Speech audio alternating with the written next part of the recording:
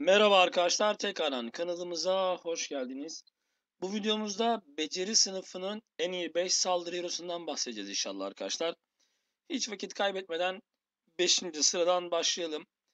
5. sıradaki hero arkadaşlar büyük ihtimalle birçoğunuzun tahmin edemeyeceği karakterlerden bir tanesi ki bence değeri çok fazla bilinmeyen bir hero arkadaşlar.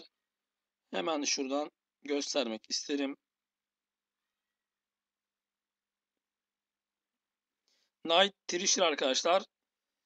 Ee, dediğim gibi eminim ki birçok kişi buna şaşırmıştır. Neden arkadaşlar Night Thrasher? Night Thrasher'ın kopya özelliği gerçekten çok enfes. Şöyle bir şey söyleyeyim size.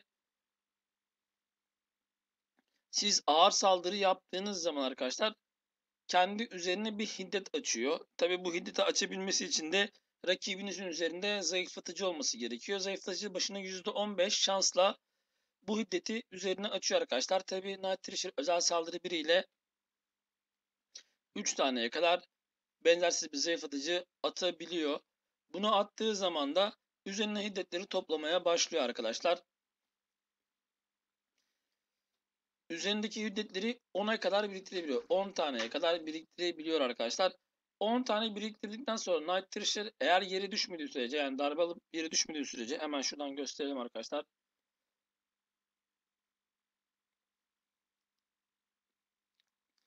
Maksimum 10 set alabiliyor. Yere serildiğinde bu takviyeler kaybedilir diyor arkadaşlar ikinci bölümde.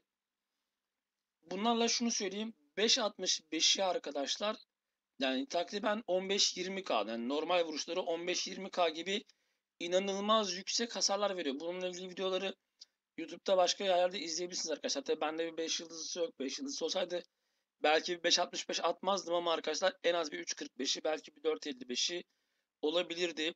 Dediğim gibi inanılmaz yüksek hasarlar verebilen bir karakter Night Thrasher. Bunun dışında gerçek saldırı özelliğine de sahip. Bildiğiniz üzere kaykay saldırıları gerçek hasar veriyor. Tabii ki bu da kaçışları ve otomatik blokları engelliyor. Aynı zamanda hayalet sürücüyle beraber olan arkadaşlar sinerjisini hemen şurada göstermek isterim onda. Hayalet sürücüyle alan sinerjisini arkadaşlar düşmana doğru atılırken yani atılma saldırısı yaparken durdurulamaz hale gelir. Rino gibi düşünün arkadaşlar. Rino gibi atıldığı zaman durdurulamaz hale gelir. Aynı zamanda hayalet sürücü içinde kanama, kader mührü ve lanetleme etkilerini sürelerinde %40 gibi çok çok güzel bir şekilde arttırır arkadaşlar. Night Thrasher zaten ilk turnuvaya da söylemiştim. Yani yetenekli, büyük ihtimal büyük ihtimalle değeri bilinmeyecek ama çok yetenekli bir karakter demiştim arkadaşlar. Hala değeri bilinmiyor ama arkadaşlar hasar gücü inanılmaz yüksek. Thrasher'e 5.65 atıp da efsaneler diyarı kasan oyuncular var arkadaşlar. Yine bunların da videoları YouTube'da bolca mevcut. Night Thrasher'ın arkasında arkadaşlar 4. sırada Nick Fury var. Eğer rakipleriniz kanama yiyorsa inanılmaz yüksek arkadaşlar. Kanama hasar veren bir karakter. Aynı zamanda kopya özelliği gerçek boyutlu tuzak yemi. Yani arkadaşlar Nick Fury sağlığını kaybettiği zaman tekrardan hayata geri dönüyor. Ve tabii ki bu esnada biraz hasar yiyerek kendi kendine bile sağlığını azaltabiliyor ama saldırısını inanılmaz derecede yükseltiyor arkadaşlar. Müthiş derecede yükseltiyor. Aynı zamanda bu iç kanama dediğimiz küçük kanamaları biriktirerek rakibin üzerine attığı o büyük kanamalarla beraber hakikaten çok yüksek hasarlar verebiliyor arkadaşlar. Yani yine 5.65 ile 10-15k hasarları çok rahat görebilirsiniz ki aynı zamanda saldırı gücünün %10'u miktarı kadar da her büyük kanama da arkadaşlar bu iç kanama dediğimizde her saniye başına %10 %10 atabiliyor. Takriben 2 veya 3 tane kanama hasar rakibin üzerine biriktirebiliyorsunuz ki arkadaşlar. Yani bu da her saniye rakibe kendi saldırınızın %20'si %30'u gibi çok çok yüksek bir hasar vurmanızı sağlıyor arkadaşlar. Kesinlikle Nick Fury de bu oyunun gerek genel bazdaki en iyilerinden gerekse de arkadaşlar saldırı babında beceri sınıfının en iyi karakterlerinden bir tanesi. Üçüncü sırada arkadaşlar Givenpool var. Givenpool'la saldırı babında yani üçüncü de olur, ikinciye de koyabilirsiniz arkadaşlar. Ama genel faydaya baktığımda üçüncü sıraya koyuyorum Givenpool'u. Givenpool'un iki büyük özelliği var arkadaşlar. Givenpool'u Givenpool yapan iki büyük özelliği var. Birincisi kritik puanı yani %31 şansla kritik atma oranı var ki bu çok yüksek bir oran arkadaşlar. Oyun içerisinde en yüksek kritiğe sahip hero'lardan bir tanesi kesinlikle Givenpool. Müthiş kritik vurabiliyor ve kritik vurdukça da verdiği hasar kritik hasarda %200 gibi yine çok çok yüksek bir hasar arkadaşlar. Yine en yüksek kritik oranlarına sahip olan bir tanesi. Aynı zamanda çok çok yüksek kanama hasarı verebiliyor. Tabi verdiği bu kanama hasarı da inanılmaz yüksek hasar veriyor ve aynı zamanda özel saldırı 3 attığınızda hemen şuradan bakalım. Rakibin zırhını 6000 kırıyor arkadaşlar 16 saniye boyunca ve rakibin üzerinde bir kanama varsa kanama etkisi yiyorsa bunu sonsuza kadar üzerinize taşıyabiliyorsunuz. Ben de arkadaşlar 5.65'i var. Yani şöyle söyleyebilirim. Normal vuruşlarım tabi bende kanama zehir açık. Yani 10k 10k çok fazla vuruyor ve verdiği kanamalar da inanılmaz yüksek oluyor.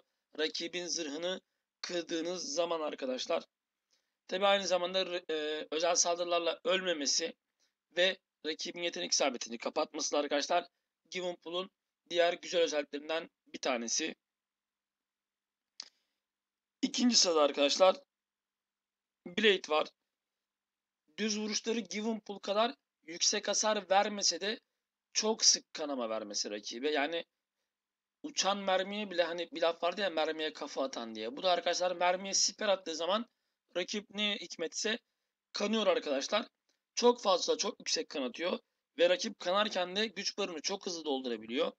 Güç barını çok hızlı dolduğu zaman da tabii ki özel saldırı 2 atabiliyor. Ve özel saldırı ikisi de kritik oranını arttırıyor arkadaşlar. Ve çok yüksek hasar verebilen bir karakter Blade. Yani şöyle söyleyeyim. Given Pool kadar düz vuruşları yüksek hasar vermese de az zamanda çok sayıda combo yapabiliyor. Özellikle özel saldırı ikisi ve tabii ki rakibi kanattığı zaman bu sebeple yüksek hasarlara ulaşabiliyor. Blade aynı zamanda arkadaşlar kopya özelliğiyle sağlık basabiliyor ve çok güzel bir sinerjisi var arkadaşlar. Yani şöyle söyleyeyim çok çok güzel bir karakterle sinerjisi var. Stark örümcek yine saldırı sınıfının en iyi yollarından biri arkadaşlar. Stark'la beraber çok güzel bir sinerjisi var ki tehlike algısıyla alakalı. Tabi aynı zamanda yanına bir de biliyorsunuz hani klasik üçlüdür. Blade, Stark Örümcek ve Hayalet Sürücü. Hayalet Sürücü de çok yetenekli bir karakter. Çok güzel bir karakter. Bu ikisiyle beraber sinerjisiyle olması Blade'i arkadaşlar Givenpool'un belki bir adım önüne çıkart üstüne çıkartabiliyor. Çünkü diğer iki karakteri de çok etkili şekilde kullanabiliyorsunuz. Tabii ki Givenpool'un böyle bir sinerjisi yok. Sinerji fakir arkadaşlar. Blade sinerjileriyle ön plana çıkıyor ve tabii ki tehlike algısını daha fazla kullanabiliyor.